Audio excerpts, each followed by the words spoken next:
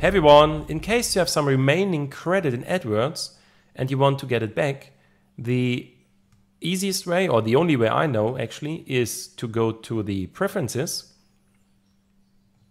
and then to cancel your account because this will trigger the refund process.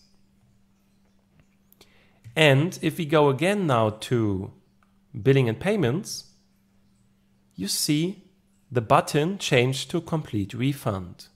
So you click on that and then you can enter the bank account, the IBAN and the SWIFT and submit. And that's basically it. You close your account and you get all your money refunded.